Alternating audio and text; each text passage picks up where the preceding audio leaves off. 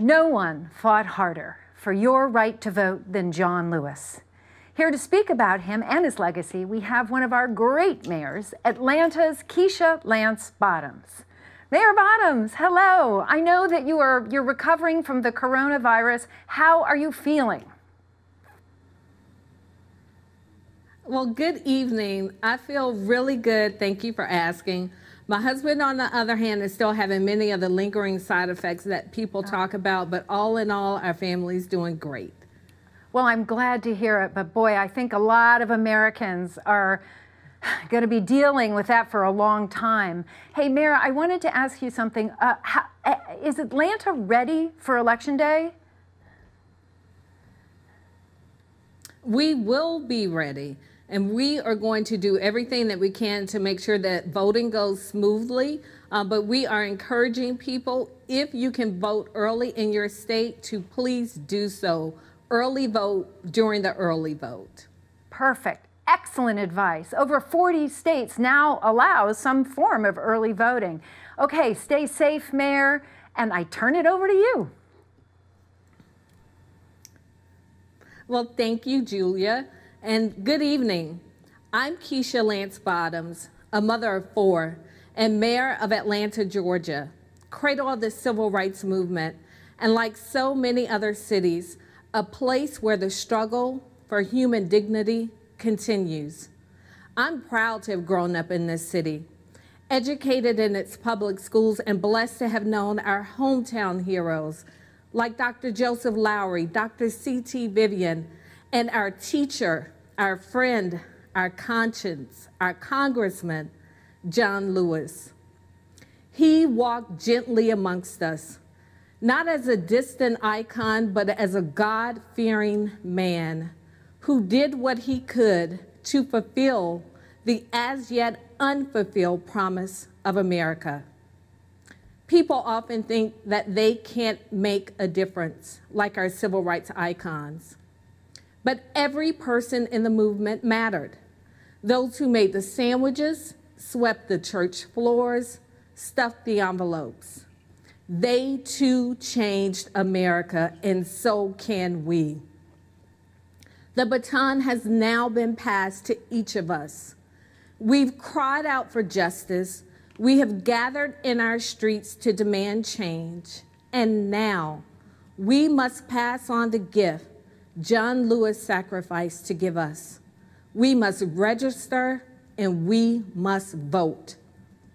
In his parting essay written to us, Congressman Lewis expressed his pride in the activism that has swept our country. And he reminded us that if we fail to exercise our right to vote, we can lose it. There are those who are disgracefully using this pandemic to spread misinformation and interfere with voting, forcing many in 2020 to still risk their lives to exercise their sacred right to vote. A right that has already been paid for with the blood, sweat, tears, and lives of so many. So let's stand up for our children, our children's children, and for this great democracy that our ancestors worked to build.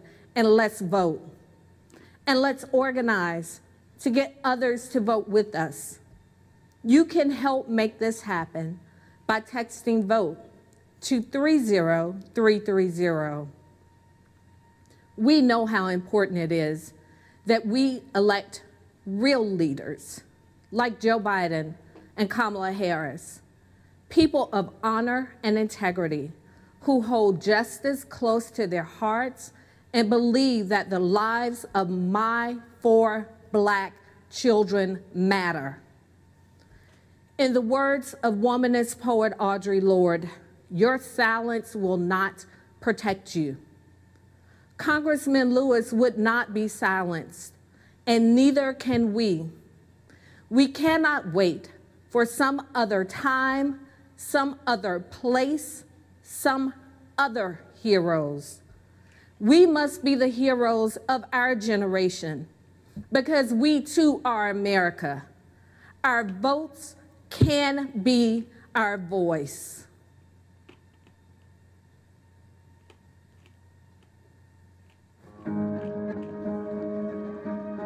There's something deep down within me, moving me, that I could no longer be satisfied or go along with an evil system.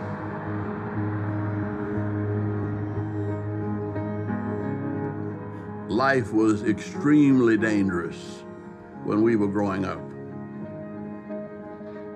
John Lewis had the respect of everybody because he was the one who demonstrated the most courage. He'd been beaten and knocked down and get up and go to find another battle. John was focused on ending voter suppression, and it wasn't that he was a great orator, is that he was a great spirit. The power of spirituality and humility, and the willingness to suffer rather than to inflict suffering.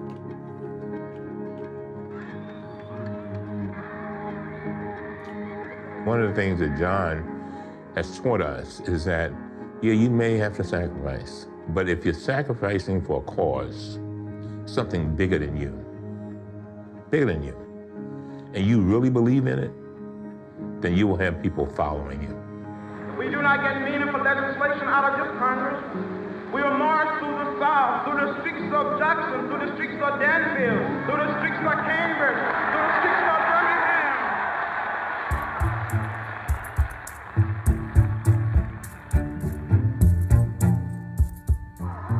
think he is the singular figure that has tried to carry out the work of our nonviolent campaigns into the halls of Congress.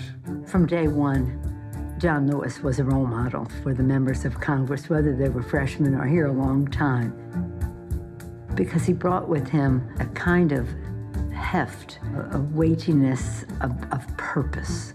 I got arrested a few times during the 60s. 40 times.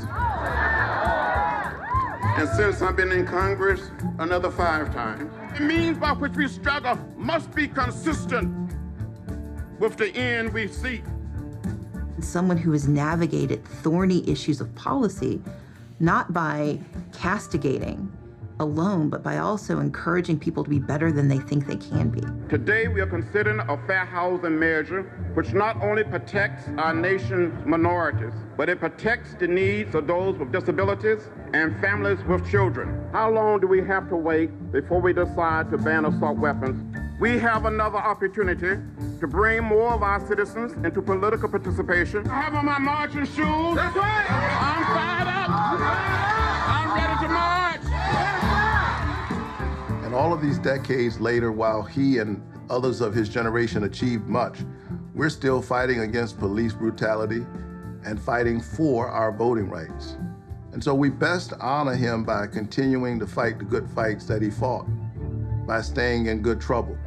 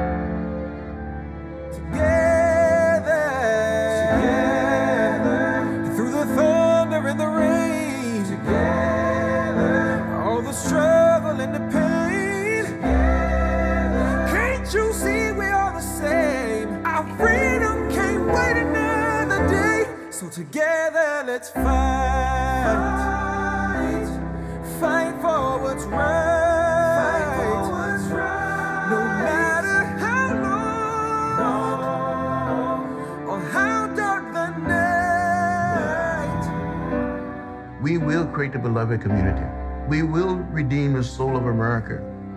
As a nation and as a people, we will get there.